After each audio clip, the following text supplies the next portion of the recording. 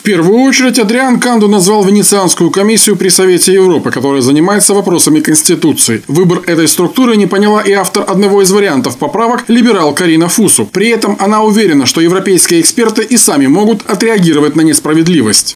OSCE și celelalte instituții ОБСЕ и другие структуры сами могут провести эту экспертизу, так как они сделали для проекта 107, если помните, который практически идентичен проекту, предложенному демократами и либерал-демократами под номером 218.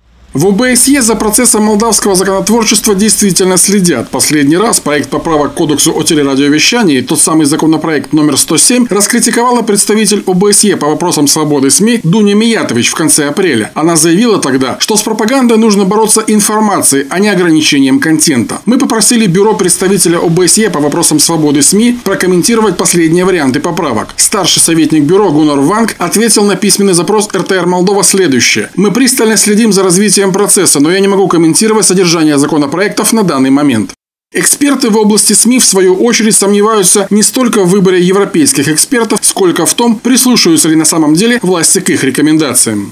То, что плохо дважды, что мы не знаем, какой вариант попадет э, к экспертам, и никаких гарантий, что если они что-то толковое нам э, посоветуют, мы будем следовать этим советам.